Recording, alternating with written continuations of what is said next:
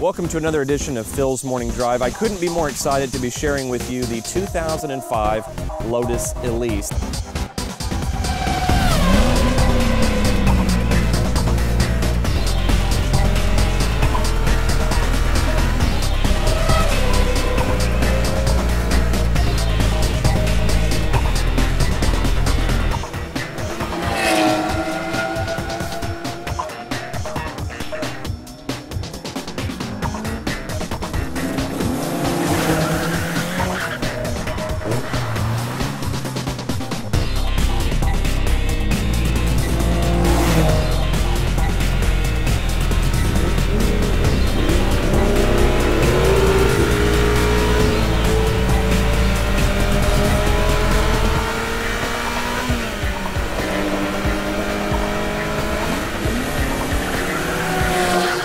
You're probably asking yourself, what's it like to drive the 2005 Lotus Elise? Well, the driver focus in here is just over the top. The shifter's in the perfect spot, the steering wheel is perfect, how you sit in these seats is perfect, the pedals are perfect if you want to do heel toe downshifts. And also, uh, it gives you the ability to really feel like you are in control of the car. You can really hear the engine behind your head. You can really feel really every bump in the road. It's not the smoothest of rides, but you just forget about all of that, especially if you like to drive. And you know, there's really not that much wind noise in here. I do have the windows up at this particular time so we can record some audio and I can visit with you a little bit. And we're doing about 40 to 50 miles per hour. And it's really pretty minimal, especially compared to most convertibles. I think a lot of it has to do with how high that the back window and the whole back section is there and how low that you sit in the car. You know, being such a driver focused car, it really is such a pleasure to drive. I love this shifter. It's got that kind of bolt action feel to it. So when you shift, it really, there's a lot of, uh, there's a lot more drama to driving this car than there is most other cars, especially from this era. You know, as modern cars have gotten stability control and traction control and paddle shifters and all this stuff. All that technology is great, but if you're looking for something that's a little more raw, Lotus has just continued to do that. I mean, they, they've upgraded some things here and there just to make the driving experience better and just to get the weight out of the car, but as far as the performance and just the sheer joy of driving, it's really, really hard to beat any Lotus, but especially the Elise. Know, when they stopped sending this car to the US in 2011, I was really sad. I, I like the Evora. I've not driven one, but it's it seems to me to be a little bit more of a sophisticated car than this as opposed to this bare bones feel. It doesn't have the open top option, which I think really adds to the overall feeling of this car. You really get a sense for how low this car sits when you're in traffic uh, with the roof off.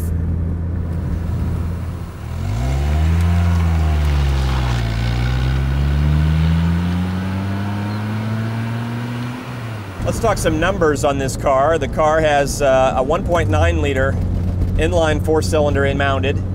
It gets about 190 horsepower and 138 pound feet of torque. Something else that adds to the driving ability or the, the way that this car will make you feel is the exhaust note and just the sound of that engine. Even though it's a four cylinder, it kind of roars behind your, your head. I'll give you a chance to hear what the exhaust sounds like on this car. Revs all the way up to 7,800, which is just a really, really peaky motor. It really just has a great sound to it. It's got a lot of uh, range to it as far as the, the, different gearing and everything. You're really finding the perfect gear and finding the perfect place to be to get out of a turn or to get the most amount of power is pretty easy to do once you've driven it for really not a lot of time at all. Some cars I feel like it takes a while to get used to the fact that second gear is this way or third gear is this way or whatever. And I noticed with, uh, with this car, that's not really the case. All right, let's give you an idea of what this car sounds like. That's pretty close to the red line. There's a very nice, by the way, that was almost 70. There was, uh, there's a very nice light. There's a, uh, a rev limiter light that, that comes on and lets you know when you're gonna shift. What's really interesting about this engine is when you get close to about 5,500 or 6,000 RPM, 7,800 is the red line. As you get close to that, it really starts to pull even harder. So you really got to be ready with the shifter. Like right now we're in third, you can drop it in fourth. It's just got a great feel to it. And the car almost feels like it wants to be driven hard. It, it wants you to push the clutch in and it wants you to just kind of manhandle this stick shift. I'm telling you, if you drive a car like this, you won't care anymore ever again about wanting to know about paddle shifters because the, the, the driver interaction with this is just top notch. It really is. All right, we'll give it some more juice here and let you kind of hear it again. Put it in second.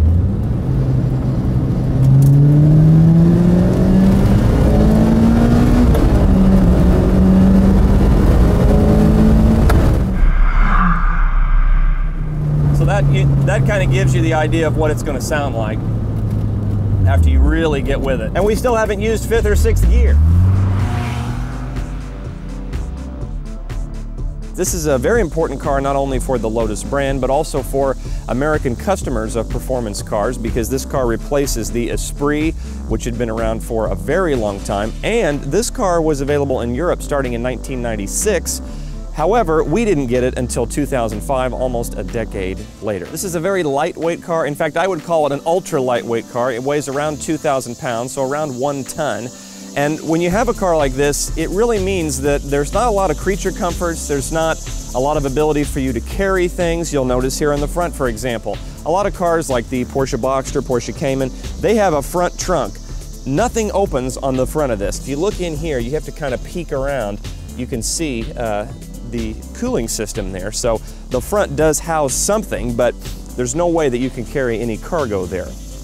If you want to carry some cargo, we have to walk around to the back of the car and you have to get the key out of your pocket.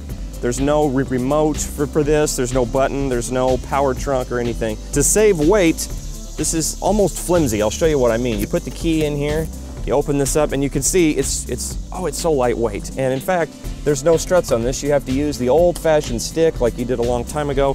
This houses the mid-engine four-cylinder as well as the trunk. And as you can see, we've got uh, some jumper cables, we got a briefcase and a couple things in there. The battery uh, is off to the left, so that's taken up some of your cargo space as well.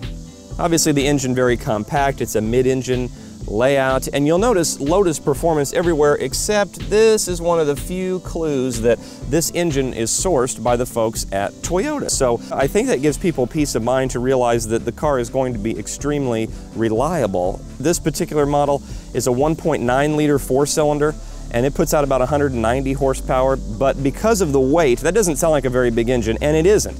But because it's such a low weight car, they're able to get a 0 to 60 time of about 4.8 to 4.9 seconds in the 2005 model. As you move into the newer models, they offered things like a supercharger, they had a bigger engine, so horsepower just went up and up, and I believe the fastest one would be in the low four second range, and that would be around 2010 or 2011. Now, part of the reason that the car went out of production, at least in the US in 2011, is because they had an exemption for the smart airbags. This car does not have smart airbags, and so that ran out. They didn't put smart airbags in it, and so therefore the Elise is not being sold in America anymore. Only the Evora is sold here at the current time. Now, one thing that makes the 2005 Elise very unique is the headlights, and the reason for that is because they had to get special permission from the National Highway Traffic and Safety Administration because these headlights and the bumper didn't meet the U.S. regulations at the time. Well, they allowed them to have a three-year exemption on that. So you'll notice if you start looking at some of the newer models that the lights become a little bit different each time. Now you may have noticed in our drive that the car has no roof. It actually does have a roof. We left it in the garage today. This particular model has the dual top option, uh, which I've heard is kind of rare. I, I know uh, some folks don't really want to have the hard top because it, it can be quite a bit of a hassle. That's what's normally on this car, especially in the cooler months. But the hardtop itself is body colored, so it's the same color as the exterior, and it requires tools to install, which is a little bit different than the target tops or the T-tops, if you will, of days gone by. As far as the soft top, it's, uh, it's really not to be used other than just for security if you're parking somewhere and you don't want anybody to be able to get in the car, or if you think that it might rain. And how it works is there's two pieces and they, one goes here and then one goes on the other side, and then you have a soft top that has like an accordion type thing that stretches over the, the top. The owner of this car that was gracious enough to let me borrow it, uh, they've never had the soft top out of the bag that it came in in the factory, so I, I said, well, let's not open it just for Phil's morning drive. Now, because this is such a hardcore sports car, and I mentioned about the creature comforts, but Getting in and out of this car is a little bit of a trick. It's easier with the roof off, I'll say that. So you open the, the door and you'll notice right away that the seat is a lot lower than the frame. That's because you literally sit down in the frame. So there's a couple ways to do this. I just like to kind of slide in and kind of just bring your feet around, but you really almost have to be uh, a little bit of a, a contortionist really to try to get in the car. But once you're in, oh, these seats are so comfortable. I've read where the newer models have a little more padding to the seat because some folks complained in 2005 that these seats were not uh, as soft as they could be. But I've been driving this car around for two or three days and I think it's great. But then again, if you've watched any of my other films, you would know that I love these sports seats. They, they, they wrap around you. These do not have very much padding, that is true. Uh, but um, they feel great. And for what the car is, you know, it's supposed to give you a race car feel.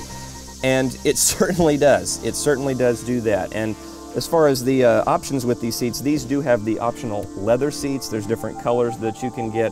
The black's a little more subtle. I've seen tan, I've seen red. There's a lot of different choices as far as that goes. You know, as far as other things in here, you really don't get a lot of equipment and that is just fine by me. It's very, very driver focused and you're noticing that there's not a lot of annoying buttons on the steering wheel other than the horn, which is just right there and here on both sides but there's no paddle shifters, there's no Bluetooth. It's actually a very small steering wheel, which actually sourced by the folks at Momo, as a matter of fact, a very popular racing steering wheel there. It almost feels like the wheel should come off to help you get in and out. It does not. Uh, but other buttons in here, we've got the start button over here. We've got lights over here on the left as well. We've got your turn signals, windshield wipers, that's about it. In the middle, we've got a uh, what looks like an aftermarket stereo. This is actually how it does come from the factory, from the folks at Blaupunkt. It does play MP3 CDs, which is nice. It uh, opens up. It really just looks like something that you would get at any electronic store. It has four speakers. We've got two in the dash and then there's two behind your head here. It's not the greatest sound system ever, but I think a lot of cars like this don't even have a sound system, so it kind of helps to I, I guess, uh, make your journey a little bit more comfortable. I personally like to listen to the engine, but that's the way it is. So this is the actual frame of the car, which you can see makes a nice armrest, but it also gives you an idea of how close that you're sitting to the ground. Right now the door is open and you can see I can just, uh, well you can see how far it is to the ground. It's not very far at all. I think the total height of this car is about three foot seven inches or three foot eight inches, somewhere in there. So when you're sitting down here, I would say your rear end is probably I don't know, probably six inches off the ground, something like that. But boy, it really adds to the overall driving experience. Sitting so low and the driving position in this car really uh, changes your feeling as far as the sensation of speed. It feels quite a bit faster than you're actually going, which maybe is a good thing. So maybe you'd get less speeding tickets with this car, but you know, the speedometer climbs so quickly that can really be uh, just probably, I would say that it would be an issue for some people. Um, other things to say about the driving position, the seat itself wraps around you. The steering wheel is right here. The shifter is right here. I mean, you've got very minimal amounts of space in between these, these different uh, things that you're going to need to drive, whether it be the e-brake or the shifter or the steering wheel. There's, there's not a lot of distance between those. This car really is very much about making the driver comfortable uh, and the passenger just gets to come along for fun. There's not, there's not much for, for them to really do over there except hang on.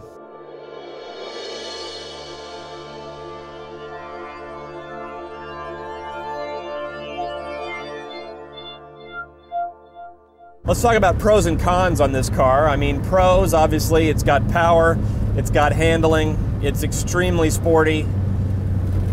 I personally don't think there's any cons to this car for what it is, which is supposed to be a hardcore sports car that you could take to the track if you wanted to, but is certainly fine just jetting around on roads outside of town. I suppose if you had cons, getting in and out of the car is not easy to do cargo space is very minimal. You're not going to be able to take very many things with you. I still think that if you had a duffel bag that you and a friend could take a road trip somewhere, but I also think that you may not want to. as far as the hardness of these seats, if you're if you're wanting to think about taking a road trip or something, for me they've been fine. I mean, they can get a little hard after a while, but I think uh, when you realize how much fun it is to drive, you'll realize that the seats are fine. So, what's the verdict? Should you buy a car like this? You know, I think if you're wanting something that is more hardcore than a Porsche Boxster, a Porsche Cayman, certainly more hardcore than a Audi TT or a BMW Z4, I think this really hits on that mark. When this car was new, it was $42,900 plus a few options. And really today you can get one for not too much less than that. So if you did buy one, it's really held its value quite well. But also, um, it gives you the opportunity. I think you could probably find one in very good shape in the low to mid 30s. This particular one only has 21,000 miles on it, and I think there's quite a few examples like that out there. When I got on cars.com, before we started shooting, I noticed that they really range in price from about 25,000, which is one that eh, who knows what the history of it is, and it probably has in the 60, 70, or 80,000 miles, up to $60,000, which would be for a 2010 or a 2011. The last couple years they made them, that would have the supercharged engine, and some of them only had like a thousand miles on them. So there's a nice range there if, if you are looking for something like this. I would recommend the dual top option. I think the hard top really looks nice on it. The soft top, a little cumbersome, but I wouldn't want to just have the soft top and try to rely on that for all the time, especially if you did want to go on a highway trip and had no interest in taking the top off.